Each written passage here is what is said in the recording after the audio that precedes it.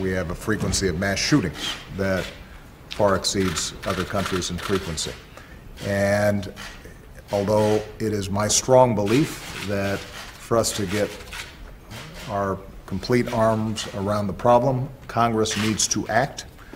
Uh, What I asked my team to do is to see what more we could do uh, to strengthen our enforcement and prevent guns from falling into the wrong hands.